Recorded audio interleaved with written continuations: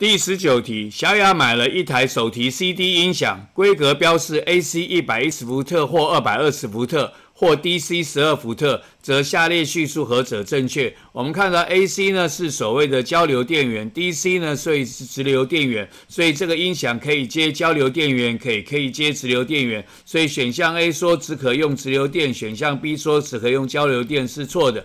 那如果我们接到直流电源的时候，它需要有所谓的十二伏特，那么十二伏特就是要有八个。一点五伏特的串联呢才会十二伏特，所以选项猪说我们把八个一点五特并联呢是错的，因为并联的时候总电压等于分电压，八个一点五伏特并联，它答案的总电压还是只有一点五伏特。那如果我们采用的是所谓的交流电源，就既可以采用一百一，也可以采用二百二，那我们必须要选择适当的位置来使用。所以呢，第十九题的选项 C 的说法呢是对的。因此十九题问我们说，则下列叙。数何者正确？我们答案选的是 C。使用交流电源时，可用于一百一十伏特或二百二十伏特，但必须先将电压选择器调至当地的电压档位。